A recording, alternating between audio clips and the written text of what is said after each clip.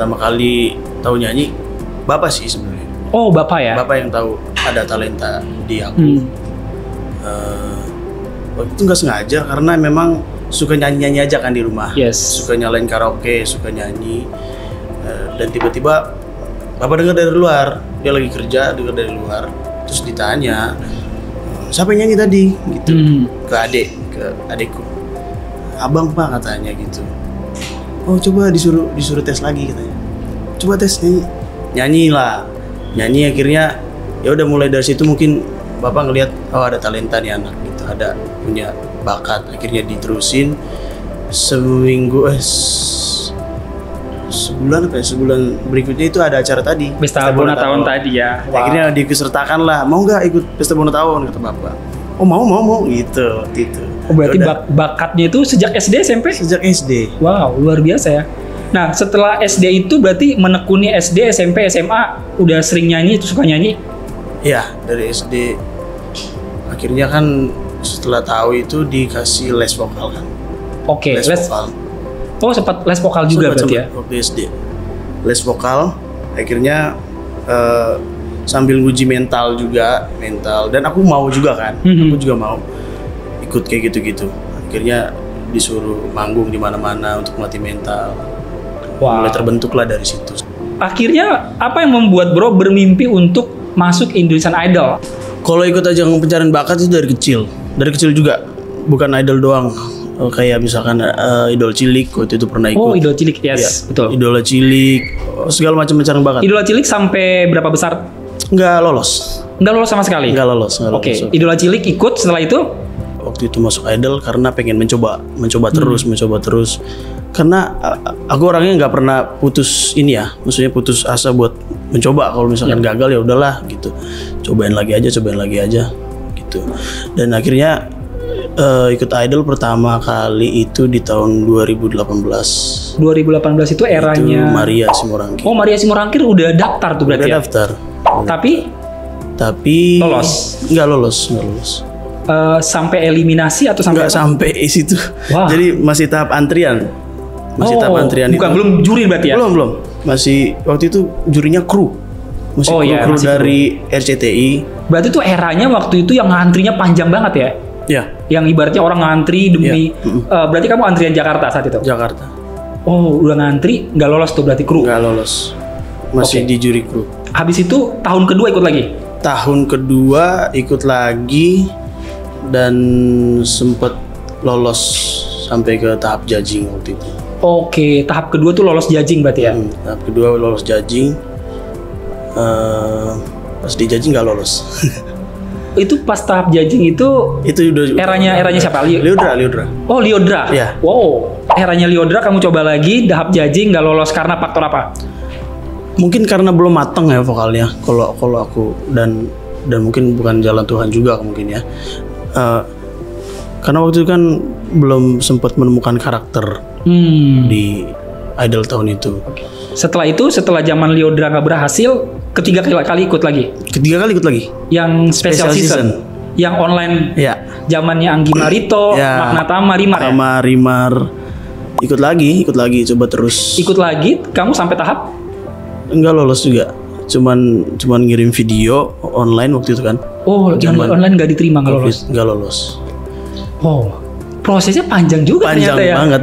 Nah, apa yang membuat kamu udah biasanya kan kita coba sekali dua kali, kayak Iya. contoh lah udah berusaha, nggak mau, udah ngapain sih? Iya. Kayaknya bukan bakat gue di situ. Apa yang buat seorang Roni itu mau mencoba tiga kali atau mencoba lagi untuk ikut yang terakhir tadi kemarin ini? Waktu itu kenapa mencoba lagi? Karena niatku waktu itu pengen membalas dendam sih sebenarnya.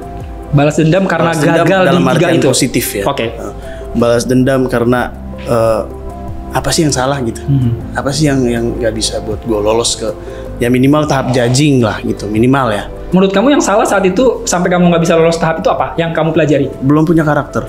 Oh karakter maksudnya Suara. suara ya, ciri Suara, khas. Ciri khas. Ciri khas. Ciri khas. Berarti juri bilang bahwa suara kamu kayak sama aja sama penyanyi yang lain gitu ya? Iya. Nggak ada bedanya sama misalnya membedakan Roni sama penyanyi ini siapa gitu Iya, ya? betul. betul. Oke. Itu satu, apalagi yang kamu pelajari? Uh, eh, Performance. percaya diri atau musik eh, atau hafalin lagu atau kayak gimana? Kepercayaan diri juga sih. Percaya diri ya. Oke, berarti selama tiga kali gagal itu kamu belajar tentang mencari karakter. Ya. Baru kedua kamu percaya diri dan mempersiapkan diri. Hmm. Oke, di yang terakhir ini berarti kamu persiapin apa tuh? Mempersiapkan pertama itu pastinya kepercayaan diri harus Hmm. harus harus apa namanya tinggi Eh, dan berpikir positif aja. Oke. Berpikir positif. Lagu pasti. Kalau misalkan nggak lolos ya udah. Akhirnya kamu eh, saat itu boleh cerita kak Hmm. bagian audisi sama juri itu kamu nyanyi lagu apa, ketemu juri siapa dan lolos. Pada waktu audisi mana nih? Audisi yang terakhir. Yang udah di tab judging. Iya, tahap judging. Yang terakhir ini yang sekarang. Yang pas, pas di tab judging itu uh, jurinya uh, Bang Jude, Bang Jude Bunda Maya, Bunda Maya, ya, Bunda Maya, eh enggak ada Bunda Maya, Bunda, Bunda Maya, David Uh, Naif? David Naif, Mas Anang, uh, BCL, Oke. udah itu dong ya. Saat itu kamu bawain- Ocha. Ocha. Kamu bawain lagu? Saat itu bawain lagunya lagu rock, lagunya Led Zeppelin waktu itu. Led Zeppelin, oke. Uh, let's hear it, man. Ya, bikin yang bagus. Sikat, Ron. You need cool down, baby. I'm not fooling. I'm gonna give you my love. I'm gonna give you my life.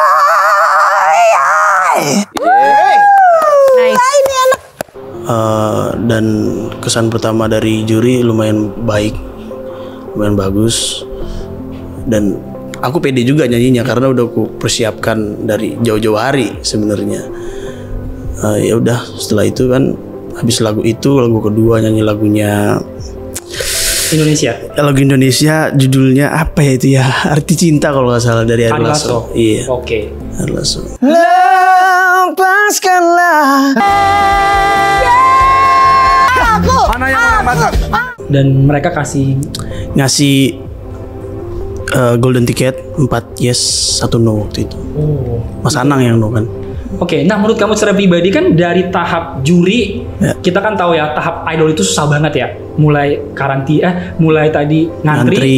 habis itu masuk eh, kru, Kru. juri, Ya, dari dari judging kita masuk eliminasi 1 2 3 dulu. eh, judging eliminasi 1 2 3, Baru showcase, Showcase, baru, baru live live. Ya. live yang 12 finalis. Spektakuler itu. Spektakuler show itu. Ya. Nah, menurut kamu secara pribadi apa yang membuat seorang Roni yang tadinya punya pengalaman gagal tiga kali Hmm. bisa lolos sampai ke tahap eh, spektakuler?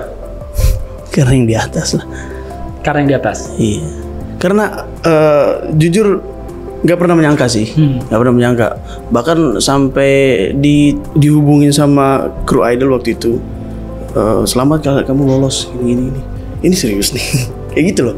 Eh, Aku orangnya kan kayak ya udahlah, jalanin aja, jalanin aja, jalanin aja.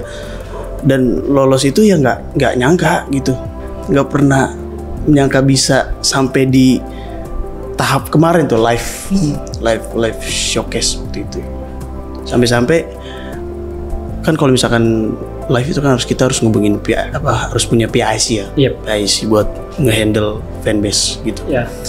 waktu itu PIC ku temanku sendiri dari gereja aku telepon.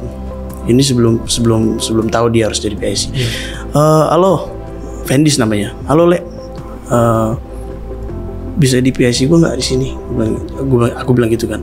Akhirnya sampai kapan? Katanya gitu. Lama nggak? Gitu kan. Enggak bentar doang. Karena karena aku nggak nggak bakal expect bakal panjang gitu bang. Nggak bakal nggak nggak tahu bakal sepanjang itu gitu di idol. Dan ya udah eh, nggak lama kok gitu kan. Oh ya udah ya mau mau. Akhirnya ternyata eh, Tuhan kasih yang terbaik ya kan. Eh, dan nggak doaku nggak pernah muluk-muluk sih sama Tuhan gitu. aku selalu bilang eh, ini yang aku bisa Tuhan aku kasih yang terbaik di panggung ini terserah mau dia terus seperti apa sama Tuhan gitu Artinya kamu kayak nggak punya ambisi setelah misalnya lolos showcase, Ya. spektakuler, pokoknya nggak punya ambisi untuk ah udah gue pengen jadi juara. Enggak. Kamu kayak berserah sama Tuhan aja. ya ya betul Wow. Tapi apa yang kamu persiapin sehingga kamu bisa lolos sampai kan nggak mungkin juga kan skill secara skill berarti apakah kamu memilih lagu yang tepat atau seperti apa sampai kamu bisa lolos ke tahap spektakuler? Pemilihan lagu pasti eh intinya sih apa ya kepercayaan diri aja sih Hmm. kepercayaan diri itu Yes. mental sih kalau masalah skill suara ini segala macam itu Semua bagus-bagus ya. bagus-bagus banget kan dan dan jujur aja aku merasa minder sama teman-teman yang lain jujur kalau masalah skill suara Mhm. itu kan ya itu itu aja sih Mindernya? intinya Lebih mindernya? karena eh, apa ya? Mereka tuh luar biasa banget suara-suaranya. Jadi mungkin karena aku rock sendiri gitu ya. Rock sendiri dan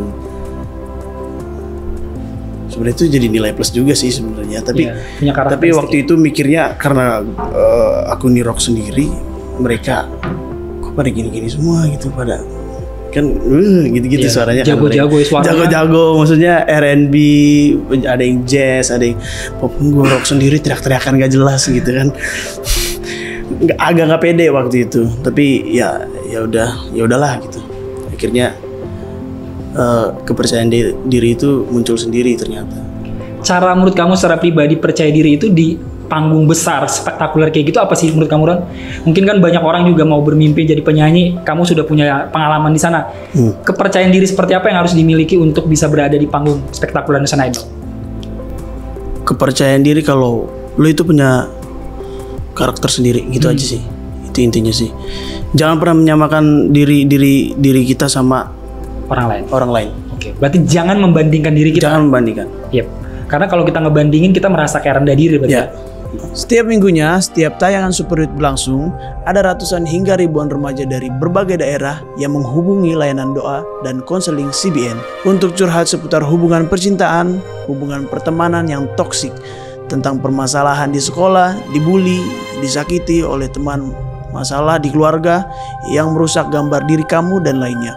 Banyak juga dari mereka yang merasa dikuatkan setelah dilayani tim kami. Jika saat ini kamu juga sedang punya struggle atau sesuatu permasalahan yang buat kamu putus asa dan gak ada orang yang mau mendengarkan kamu, kamu bisa menghubungi kontak layanan doa dan konseling CBN di nomor yang tertera di layar kamu saat ini.